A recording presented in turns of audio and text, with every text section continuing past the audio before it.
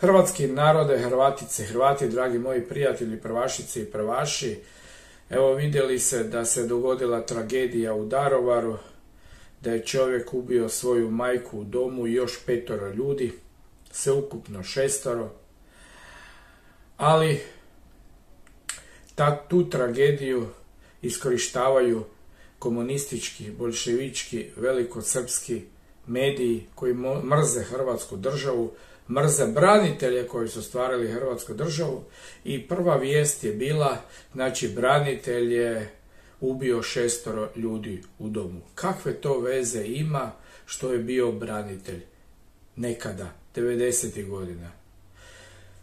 Ali kada sada se dogodi da je uhićen Srbin koji je palio Hrvatsku, podmetao požare, piroman, onda se ne govori da je on Srbin, ne govori se da je Četnik. Ili, na primjer, kada u Vojniću, znači, Srbin izađe iz kafića, počne vikati kockice, Hrvati, Ustaše i krene gaziti pripadnike 110. ratne brigade Hrvatske vojske iz Karlovca. I ozlijedi teško znači ženu.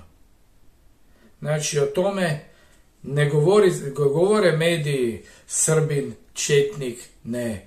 Ali kada nešto se dogodi, a ne daj Bože da je on branitelj, onda mediji odma napadaju branitelje, a preko branitelja se napada domovinski rat i napada se Hrvatska.